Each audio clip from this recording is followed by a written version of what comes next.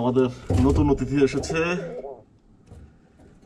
গত তিন চার মাসে এই একটা বাচ্চাই টিকেছে। আসলে প্রচুর ঠান্ডা, তাই ডিমগুলো ফুটতে পারে না। উনিশে ফেব্রুয়ারি দু হাজার একুশ, শুক্রবার বিকেল, আসরের পর আমরা বেরোচ্ছি।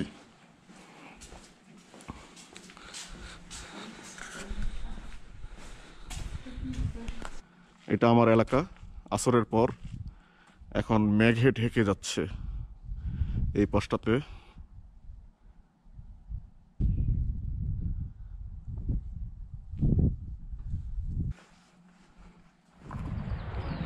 আমরা আবারও আজকে,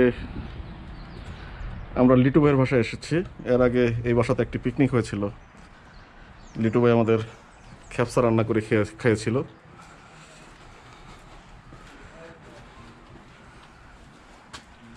আজকে অন্য একটি কাজে এসেছি। সুন্দর ভাই?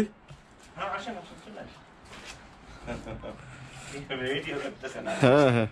আজকে সিন পারব ভিডিও হবে না? আচ্ছা। এখানে আমরা আগে একদিন উটের খ্যাপসা রান্না করেছিলাম।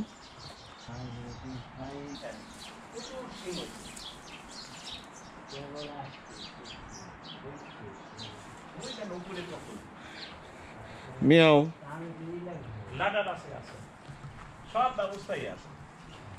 ও এই তো সেই সিম গাছ লিটু ভাই আমার কাছ থেকে বিচে এনে এনেছিল। প্রচুর সিম ধরেছে। উপরে দেখেন। ভালোই তো হয়েছে ভাই হুম? এখন তাহলে এটা কি কোথায় নেবেন? কোথায় যাবেন আর কি? আর ভাই সাপের উৎপা- উৎপাদন। এখানে? হ্যাঁ। কোথা থেকে আসে? কোন- থেকে- কোথায় নি কোন থেকে যে আসে তা জানি তাই।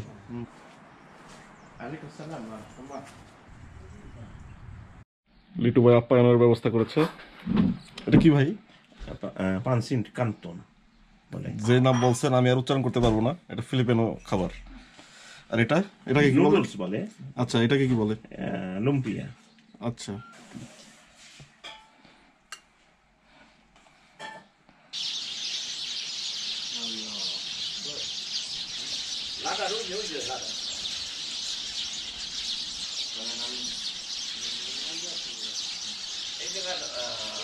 এই গাছটি খুবই সুন্দর, লতা গাছ। আমি সৌদি আরব থেকে বাংলাদেশে নিয়েছিলাম। বাংলাদেশে হয়েছিল। গাছটির নাম জানি না, কিন্তু খুবই চমৎকার দেখতে।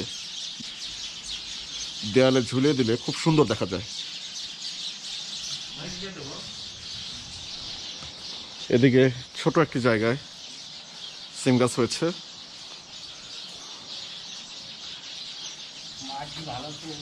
হ্যাঁ। আর এই পাশে অনেক লেমন গ্রাস, আমরা নিয়ে যাব। আলু গাছ রয়েছে। আলু শাক নিয়ে যাব। আলু শাক, শুটকি দিয়ে বেশ মজা লাগে। এখানে তো প্রচুর সিম। মানে অবিশ্বাস্য রকম সিম। আমার বাসায় যেমন হয়েছিল সেই রকম সিম এসেছে এই জায়গায়।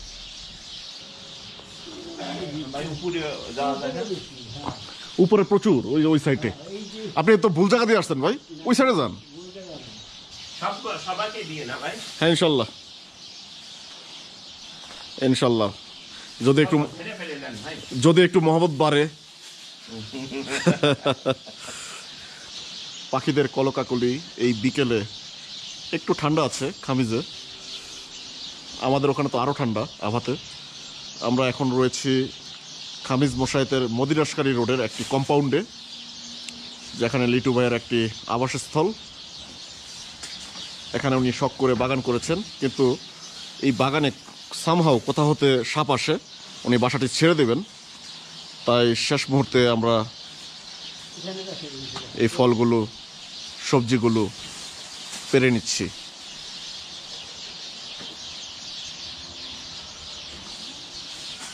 মানে সিমের শেষ নেই। বেশ হৃষ্টপুষ্ট এবং বিচি আছে ভেতরে। আরও ফুল ফুটেছে, আরও আসবে।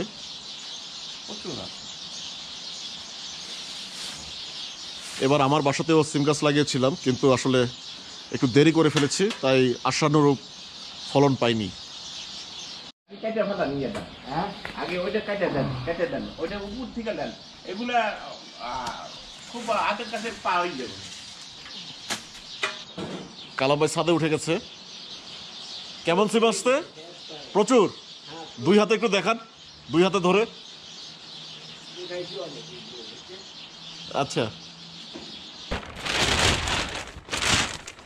কমপক্ষে পনেরো কেজি সিম পেরেছি অনেক অনেক সিম। অন্ধকার হয়ে গেছে, দেখানো যাচ্ছে না। এখানে আলু শাক নিয়েছি। লেমন গ্রাস গাছটি নিয়েছি। দেখি, হয় কি না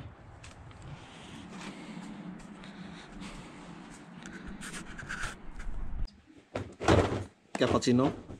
বেশ সুন্দর একটি অ্যারোমা বের হয়েছে। দেখতেও দারুণ। আর এই পাশে কি এটা? কটকটি, বাংলাদেশের কটকটি। এগুলো এগুলো সব ম্যাগ আমরা বাহির থেকে ঘুরে টুরে আসলাম। এলাকায় এসে দেখি এই অবস্থা। ঘন মেঘ। অন্ধকার হয়ে আছে।